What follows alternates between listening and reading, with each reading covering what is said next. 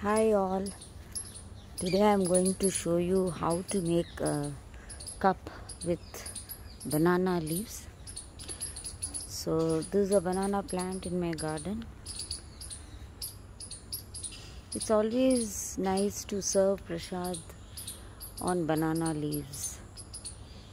Not only does it look good, it is also a, a very traditional method of serving prasad or offering Naivedyam to God or Goddess.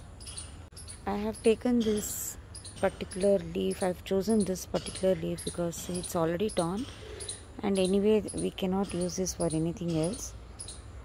We have to make uh, small pieces out of this leaf. Banana plant is packed with nutrients every part of the banana plant is useful. The leaf the fruit both ripe and raw. The flowers are also used for making vegetables. The stem is also used to make vegetables. Each and every part of the banana plant is so useful and so nutritious. I am now going to cut this leaf. Uh, so this is already cut from here. So i'm going to use this piece now. And the size also looks perfect so now I'm going to make a serving bowl or a cup or a plate, whatever you would like to call it, with this particular piece of banana leaf. You need some cloves to attach uh, the leaf. First you hold the leaf such a way that the lines of the leaf are vertical. It should be vertical, then it will be easier to fold. If it is horizontal, then it might break. So now I'm going to fold one edge of the leaf you can just see how I'm doing it.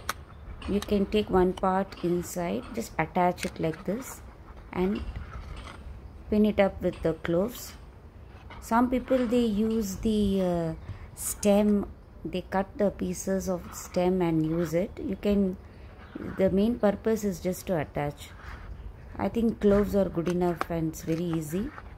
See just you pierce it and it's attached now now the same thing I'll do for the other side also. I'll attach it with the clove so you have to do this same process on all the four sides. I thought of this innovative method when I was running short of plates to give prasad or distribute prasad to people.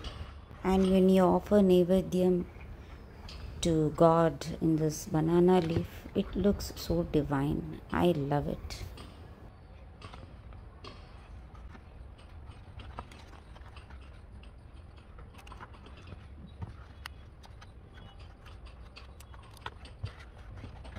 My banana serving bowl is ready now. See, it looks so good.